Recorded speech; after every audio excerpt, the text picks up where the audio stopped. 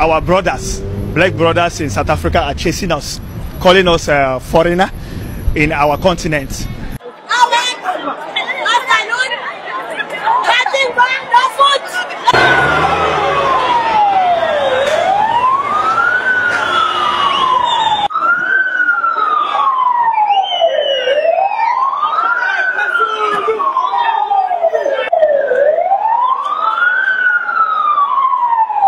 And they're vandalizing our shops, what we have suffered for.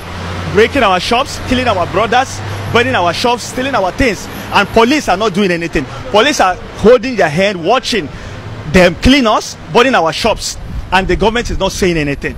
We're all disappointed and we're very sad that in our continent they're calling us foreigners, chasing us. So what we want uh, uh, government to do, government must interfere before this thing is going to escalate because uh, everybody is very sad. Like today, our shop are closed from morning till now. We also pay taxes, uh, support our kids, pay rent. We are, we are not happy about the, um, this mass demonstration. One of the Indian is killed, of which is the permanent citizens in our country.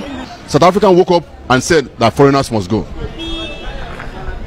I, I keep asking myself, foreigners, black people must leave Africa. What kind of thing is that? Is it what Nelson Mandela worked for? Is it what, what all the activists work for?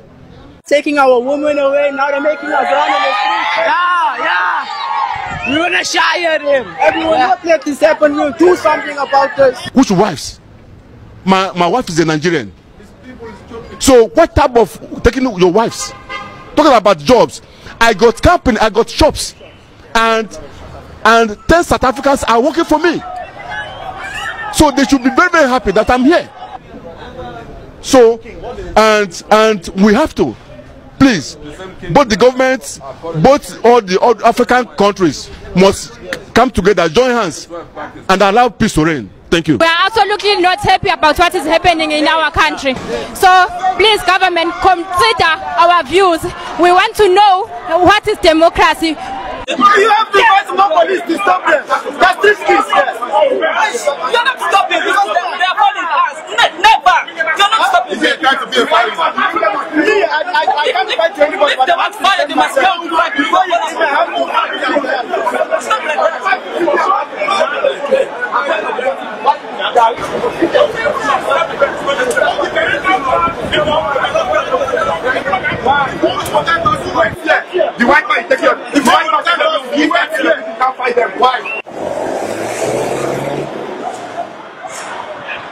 We want government to do something about it.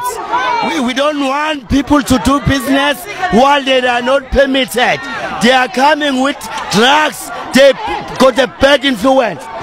Before we came here, way back, back in the days, there's drug in South Africa that means they must do something like they must try to find something to make them right and maybe they must just trying to find a transport and move them to their homes not like to hit them and kill them it's not right at all